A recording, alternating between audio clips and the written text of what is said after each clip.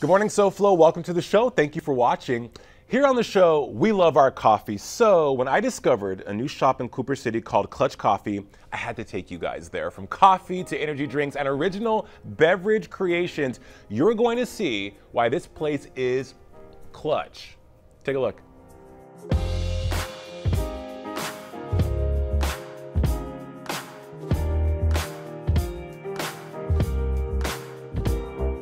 Now we are with the man who makes it happen here at Clutch, CEO and founder Darren Spicer, also known as D Spice.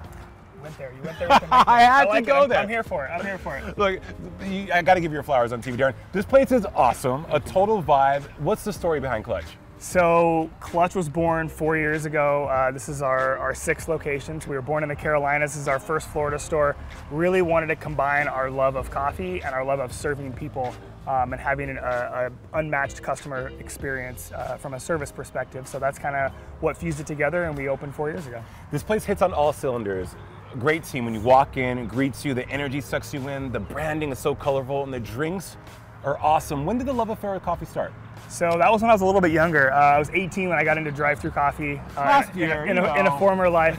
And you know, I ended up leaving and going doing some other things in my career, but this brought me back and called me back because of my my passion for people and my love of coffee and the chance to marry those things together and have an impact in the community. So um, I left a promising career four years ago to to start a found up or yeah, found a startup. There you go.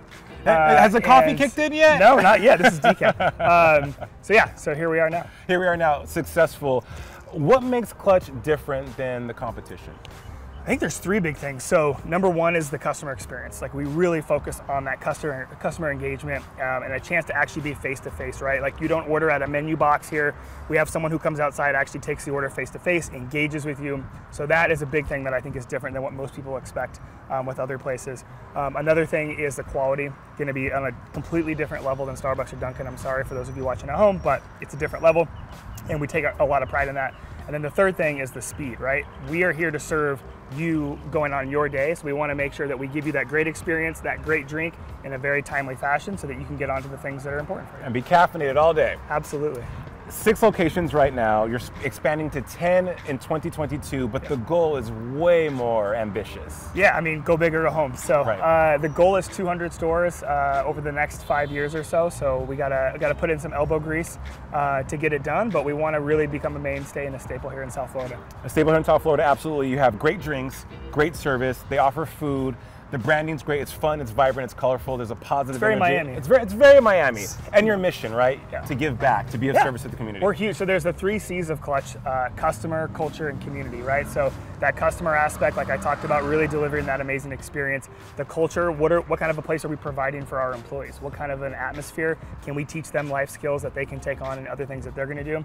And then the third one is community and giving back. We do a lot of uh, support and partnerships with the local high school and other foundations because we want to be a vehicle for good in the community. I love that.